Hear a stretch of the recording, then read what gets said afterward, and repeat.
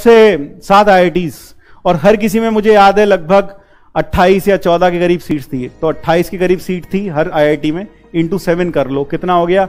Seven eight ज़ा fifty six seven two ज़ा देख लो करके है ना?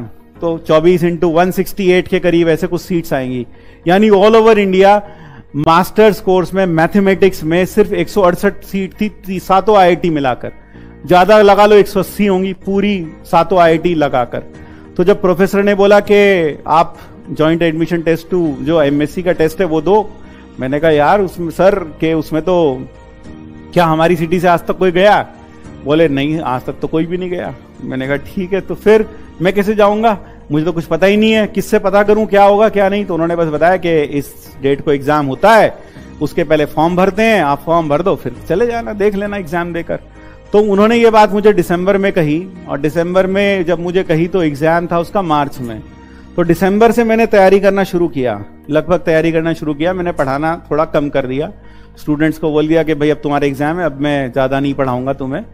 तो अभी तो सिर्फ़ हम, अभी तो सिर्फ़ हम क्या करेंगे? अब अब मुझे पढ़ाई करने दो। तो मैंने तीन महीना लगकर पढ़ाई की है, सच बता रहा हूँ, तीन महीना पढ़ाई की है बस ढंग से। तीन महीना बहुत अच्छे से। कैसे? दिनचर्या बताता हूँ। मैं रोज सुबह ग्यारह बजे उठता था। रोज सुबह कितने बजे उठता उठता था ग्यारह बजे। ग्यारह बजे उठता था। ग्यारह बजे उठकर बारह बजे तक नाश्ता वाश्ता करके खाना कह लो, नाश्ता कह लो, वो करके पढ़ने बैठ जाता था। लगभग बारह, साढ़े बारह बजे पढ़ने बैठा, फिर तीन बजे तक पढ़ा। फिर तीन बजे तक पढ़ने के बाद फिर थोड़ा खाया पिया, घूमे, टहले, फिरे, फिर चार, साढ़े चार बजे फिर बैठ गए। चार, साढ़े चार बजे फिर बैठे तो रात को नौ बजे तक फिर पढ़े। फिर नौ बजे उठे खाना वाना खाया, घूमा फिरा, ग्यारह बजे फिर बैठे और ग्यारह बजे से लेकर सुबह छह बजे तक फिर पढ़ते थे और फिर छह बजे सोते थे और फिर ग्यारह बजे उठते थे। ये मैंने सिर्फ़ तीन महीना किया। सिर्फ़ तीन महीना मैंने ये प्रैक्टिस किया। ठीक है ना? सिर्फ़ three months I did this मैंने तीन महीना ये प्रैक्टिस किया और तीन महीना प्रैक्टिस करने के बाद सबसे पहला एग्ज़ाम आया आईआईटी रुड़की का। तो आईआईटी रुड़की का एग्ज़ाम था। मुझे आज भी याद है आईआईटी रुड़की के एग्ज़ाम में जब मैं एग्ज़ाम देने गया तो सौ सवाल आए थे। सौ तो ऑब्जेक्टिव थे और कुछ दस के करीब सब्जेक्टिव भी थे। तो सौ ऑब्जेक्टिव्स में से मुझे याद है मैंने 96 ऑब्जेक्टिव सही किए थे। चार मैंने इसलिए छोड़ दिए थे क्योंकि नेगेटिव मार्किंग थी तो हो सकता था नेगेटिव मार्क्स आना इसलिए मैंने चार छोड़ दिए थे। और दस सब्जेक्टिव में से मैंने शायद सात के करीब किए होंगे, तीन मुझे आते नहीं थे, मैंने छोड़ दिए।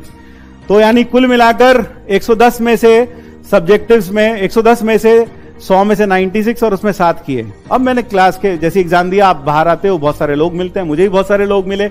मैंने लोगों से पूछा, तेरा कैसा हुआ यार? तो बोले, बहुत बढ़िया हुआ, मैंने कितने किए? बोले, वो तो सौ के सौ कर दिए मैंने, और दस में से नौ किए, एक छोड़ा है बस। मैंने गजब यार। फिर दूसरे से पूछा, तेरा कैसा हुआ? सारे कर दिए, सारे कर दिए, मैंने तो एक भी नहीं छोड़ा, सारे कर दिए। मैंने गजब। एक दो से और पूछा तो कोई भी आदमी यार उधर 98 और इधर बोल रहा है दस के दस कर दिए ऐसी बात कर रहे हैं सब लोग। मैंने कहा, ठीक है, अब घर आया, घर में सबने पूछा, कैसा हुआ? मैंने कहा, मेरे हिसाब से तो अच्छा हुआ था, लेकिन, मेरे हिसाब से तो अच्छा हुआ था, लेकिन सेंटर्स पर तो लोग बता रहे थे कि उनका तो बहुत ज़्यादा अच्छा हुआ, मेरा तो कुछ अच्छा हुआ ही नहीं उस हिसाब से। तो ठीक है, थोड़े दिन बीत गए, पंद्रह बीस दिन बाद रिज़ल्ट आया। And I was selected with rank one eight I I T Roorkee I T Roorkee में रैंक आ गया भैया बैठे बेटा मैंने गजब हो गया भाई ये तो। और वो जो बोल रहा था कि सौ के सौ करके आया साला वो तो पागल था वो तो गधा था। सौ करके आ गया। और वो तो एक तो बोल रहा था मैंने सारे ही कर दिए। उनका तो नंबर था ही नहीं लिस्ट में दिमाग खराब हो गया। सही है। अब आई आईआईटी रुड़की सहारनपुर जो सहारनपुर रहता है मेरा एक, एक स्टूडेंट है यहाँ पर स्टीव फ्रॉस्ट पता नहीं क्या नाम रखा उसने अपना। तो वो आ, वो जानता है सहारनपुर से रुड़की बहुत पास है। तो सहारनपुर में रहकर रुड़की में सिलेक्शन हो जाए तो उससे अच्छी बात क्या है? तीस चालीस मिनट मेरे ख्याल से एक घंटे करीब का रास्ता है घर से। कोई दिक्कत नहीं है। तो अब लाइफ चिल हो गई। I got rank one eight I I T M S C entrance in my Roorkee I I T Roorkee. अब मैंने फॉर्म तो भरे थे तीन चार जगह के। आई आई टी रुड़की भरा था आई आई टी कानपुर भरा था और आई आई टी बॉम्बे भरा था। और I I T B H U भी भरा था। तो फिर अगला एग्ज़ाम आया आईआईटी बॉम्बे का। अब आईआईटी रुड़की में सिलेक्शन हो गया लाइफ चिल हो गई, पढ़ाना लिखाना मैंने बंद कर दिया और अब सारा दिन आराम से बैठे थे क्योंकि एडमिशन में भी टाइम था, एक दो महीने का तो घर में चिल मारते थे घर वाले भी कुछ नहीं कहते थे कि पढ़ लो, तुमने पढ़ाना भी छोड़ दिया, पढ़ भी नहीं रहे हो। क्यों? क्यों? लगता था बंदे का रैंक वाना आ गया, और क्या चाहिए इसको? अब हुआ क्या? बॉम्बे का एग्ज़ाम आया। आईआईटी बॉम्बे का एग्ज़ाम आया तो आईआईटी बॉम्बे का जो सेंटर था वो आईआईटी रुड़की ही था। आईआईटी रुड़की ही था उसका सेंटर पाँच दस मिनट लगेंगे। आईआईटी रुड़की उसका सेंटर पाँच मिनट लगेंगे। आईआईटी रुड़की था उसका सेंटर तो आईआईटी रुड़की उसका सेंटर था। तो सब बच्चे होते ना, एक बार आईआईटी में सिलेक्शन हो गया, दूसरा देने की क्या ज़रूरत है? तो मैं पहली रात में जब एग्ज़ाम था अगले दिन, उससे पहले दिन मम्मी के पास गया, रसोई में बोला कि एग्ज़ाम छोड़ दो क्या? आईडी बॉम्बे का क्या करना है देखे? बेकार है, एक जगह तो हो ही गया सिलेक्शन अब क्या करना है? इतनी दूर बॉम्बे कौन जाएगा? तो वही होता है जो तुम्हारे साथ भी होता है। क्या? क्या? उधर से पापा ने सुन लिया। तो बस फिर वही जो तुम्हारे पापा बोलते पेड़ पर पैसे लगते हैं क्या? डेढ़ हज़ार का फॉर्म आया था। नहीं भरना तो, तो पहले बोलना था नहीं जाना था तो जाना तो पड़ेगा ऐसे थोड़ी होगा। तो ठीक है भाई अब उधर से जब डांट पड़ी तो लगा कि जाना तो पड़ेगा ही यार अब। तो मुझे याद है अगले दिन एग्ज़ाम जो था मेरा ढाई बजे था। रुड़की में सहारनपुर में रहता था। एग्ज़ाम ढाई बजे था रुड़की में, ठीक है? तो अनमने मन से मैंने घर से बाइक ली, चला गया, रेलवे स्टेशन पे स्टैंड पे बाइक खड़ी की, टोकन लिया, पैसा दिया, और जाकर रेलवे का टिकट खरीदा, खड़ा हो गया। ट्रेन आनी थी, पैसेंजर ट्रेन थी, आनी थी साढ़े बारह बजे, और रुड़की से लगभग एक डेढ़ घंटा लगता है। तो साढ़े बारह मैंने हिसाब लगा रखा था, साढ़े बारह, एक घंटा लगेगा, डेढ़ घंटा लगेगा तो डेढ़ दो बजे तक आराम से पहुँच जाएँगे।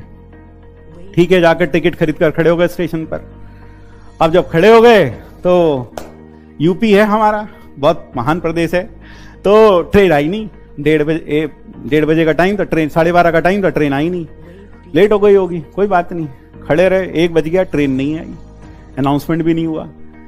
डेढ़ के बाद, इंतज़ार करते करते दो बज गए ट्रेन फिर भी नहीं आई। फिर मैंने हिसाब लगाया कि यार, अब तो बड़ा लेट हो गया। अब क्या करें? ट्रेन तो आई नहीं। तो मैंने सोचा घर चलो घर में पापा को दिखा देंगे। देखो टिकट रेलवे का नहीं आई ट्रेन अब मैं क्या करूँ? ट्रेन नहीं आई तो मेरा कोई बस थोड़ी है मैं कैसे जाता फिर? तो लेकिन ये लगा कि घर में तो बड़ा डांट पड़ेगी वो ये कहेंगे तुम पहले ही देना नहीं चाहते थे। तुमने आराम खोरी की तो इसलिए तुम देख लो भगवान ने भी ऐसी कर दिया तुम्हें एग्ज़ाम देने ही नहीं दिया। मैंने घर बहुत डांट पड़ेगी तो क्या करें? अब क्या करें तो भाई जब तुम्हारे जितने तो बहुत ज़्यादा जोश रहता था तो क्या, क्या किया? बाइक उठाई चलो रुड़ की बाइक से चलते एग्ज़ाम देने के लिए। तो बाइक उठाई स्टैंड से और चले गए एग्ज़ाम देने के लिए। 40-45 किलोमीटर का दूरी है बाइक से जब गए, लगभग दो, सवा दो बज चुके थे और मैंने बाइक स्टैंड से निकाली। जब गए रुड़की तो लगभग 45 मिनट या एक घंटे करीब लगा। और मैं वहाँ पर जो पहुँचा एग्ज़ाम देने के लिए, ढाई बजे का एग्ज़ाम था, उस पर लिखा होता कि ढाई बजे के बाद पंद्रह मिनट तक आप अलाउड होंगे, उसके बाद आप अलाउड ही नहीं होंगे एग्ज़ाम देने के लिए। तो ठीक है मैं पहुँचा। साढ़े तीन या पौने चार बजे करीब पहुँचा मैं। भागते भागते मैंने अपना देखा कि कहा मेरा एग्ज़ाम हो रहा था तो मैं भागते भागते वहाँ पहुँचा। लगभग चार बज चुके थे। वहाँ तक पहुँचते पहुँचते तो चार बज गए। एग्ज़ाम तीन घंटे का था, साढ़े पाँच बजे खत्म होना था। लगभग डेढ़ घंटा गुजर चुका था, डेढ़ घंटा मेरे पास था। मैं सामने गया, मैंने टीचर को बोला, सर, ये रहा मेरा एडमिट कार्ड ये रहा रोल नंबर मुझे जल्दी से क्वेश्चन पेपर दो, मैं बैठ के करता हूँ। उसने बोला, तुम तो एग्ज़ाम दे ही नहीं सकते, तुम तो तुमने देखा नहीं एडमिट कार्ड पे लिखा पंद्रह मिनट लेट के बाद अलाउड ही नहीं है। तो मैंने उन्हें बोला, सर, ये देखो, मेरे कपड़ों पे मिट्टी लगी हुई है, मैं बाइक चला के आया हूँ और ये रहा रेलवे का टिकट आप चाहो तो इंक्वायरी में फ़ोन करके पूछ लो ट्रेन नहीं आई। ये भारत सरकार की गलती है रेलवे की गलती है कि मैं एग्ज़ाम नहीं दे पाया, इसमें मेरी गलती नहीं है। मैं तो वहाँ खड़ा था। अब वो एग्जामिनर का दिल पिघल गया, उसने देखी मेरी हालत। रेलवे का टिकट भी देखा, उन्हें लगा, लड़का सही बोल रहा है। उसने कुछ कह के, चलो ठीक है यार, तुम बैठो पेपर लेकर. तो मैं बैठा, अब पेपर लेकर करने लगा तो सौ क्वेश्चन उसमें भी लगभग नहीं सेवेंटी हाँ सौ हंड्रेड के करीब ऐसे कुछ क्वेश्चन थे उससे बहुत कम बने यार सेवेंटी बने हंड्रेड में से हंड्रेड में से सेवेंटी और सब्जेक्टिव में तो एक, दो, तीन ही बने, बाकी बने ही नहीं मुझसे। पच्चीस वो, पच्चीस वहाँ छोड़ दिए और आठ, सात, आठ वहाँ छोड़ दिए। बर्बाद हो गया बिल्कुल, लगभग ऐसा लग रहा था मुझको, लेकिन मैंने सेवेंटी फाइव किया और ये किया और ये मैंने फटाफट सवा घंटे में कर लिया। साढ़े पाँच बजे का टाइम खत्म होना था, मैं सवा पाँच बजे तक पूरा पेपर कर लिया जितना मुझे आता था। मैं खड़ा हुआ पेपर लेके, मैंने कहा, सर, पेपर हो गया। और उसे बहुत गुस्सा आया इन्विजिलेटर को मेरे ऊपर। बहुत गुस्सा आया, बोला, ये सब बेवकूफ़ बैठे हैं यहाँ पर। ये पिछले तीन घंटे से यहाँ बैठ के कर रहे तूने सवा घंटे में पूरा कर लिया। मैंने कहा हाँ सर, जितना आता था मुझे, मुझसे तो इतना ही हुआ। बोले, आता ही कुछ नहीं होगा, तभी तो ऐसा सवा घंटे में हो गए तुझसे। तो बोला, नहीं, तुम बैठ के रिवाइज करो इसको। मैंने कहा, ठीक है, सर, बैठ के रिवाइज किया। अब रिवाइज किया, फिर ठीक है पेपर दिया, बाहर आया, लेकिन अब की बार मैंने किसी से कुछ नहीं पूछा। तेरा कैसा हुआ, तेरा कैसा हुआ, क्यों? भूतकाल में धोखा हो चुका था। तो फिर मैंने घर आया, घर में, रात को घर आया बाइक से। पापा ने पूछा, कैसा हुआ? मैंने कहा, बेकार हो गया वो तो। सौ में से तो पिछहत्तर ही हो पाए। बस फिर वही डांट शुरू। दो महीने से तो आराम ही कर रहे थे। पढ़ाई से तो कोई वास्ता था ही नहीं। बस एक बार एक आईआईटी में सिलेक्शन किया हुआ हवा में आ गए ये हुआ, वो हुआ। खूब डांट पड़ी। लेकिन फिर जोश था तो मैंने बोला, एक जगह तो हो गया ना तो इसमें इतना चिल्लाने की बात क्या? एक जगह तो हो ही गया। तो ठीक है। अब मेरे ज़िंदगी की सबसे सबसे मतलब खुश खुश जिसमें कह सकता हूँ I was most happiest moment of my life पंद्रह दिन के बाद, पंद्रह दिन के बाद घर में लैंडलाइन पर एक फ़ोन आया। अब ध्यान से सुनना, पंद्रह दिन के बाद, मेरे रोंगटे अभी भी खड़े हो रहे हैं, ये बोलते हुए। पंद्रह दिन के बाद लैंडलाइन पर एक फ़ोन आया, रात को करीब आठ बजे, सात आठ बजे। मेरी मम्मी ने फ़ोन उठाया। तो जैसे उन्होंने फ़ोन उठाया, मैं दूसरे कमरे में था, वो मेरे पास ही बोले, तेरा फ़ोन है किसी का? मैंने, किसका फ़ोन है? बोले, लग रहा है कोई कोई तेरा दोस्त है, उसका फ़ोन है। मैंने, कहा से है? बोले, बॉम्बे से। मैंने, मेरा दोस्त दिल्ली नहीं गया आज तक। बॉम्बे कहाँ से चला जाएगा? बोले, नहीं, बॉम्बे से फ़ोन आया है। तो बॉम्बे से फ़ोन आया तो मैंने उठाया।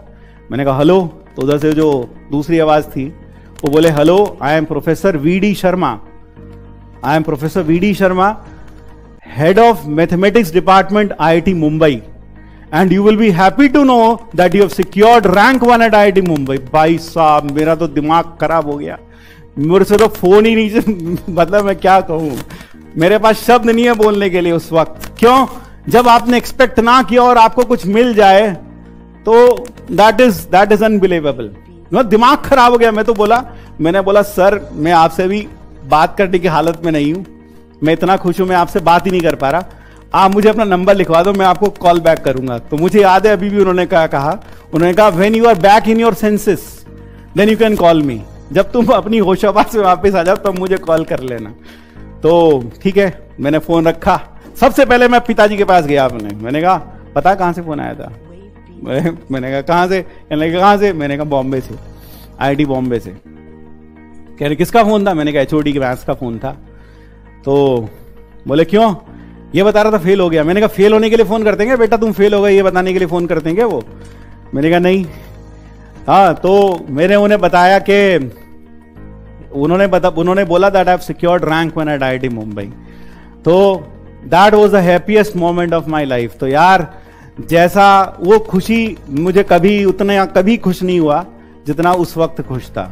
तो ऐसी खुशी के पल आपको भी मिल सकते हैं। आप बस मेहनत करें, अपने ऊपर विश्वास करके करते चले जाएँ। चीज़ें मुश्किल लगती हैं, चीज़ें संभव लगती है, मुझको भी लगती थी। सहारनपुर से आज तक कोई नहीं गया था। मैं गया ना पहली बार। तो इसलिए मुश्किल लग सकती हैं, हर किसी को लगती हैं, लेकिन चीज़ें आसान हो जाएँगी।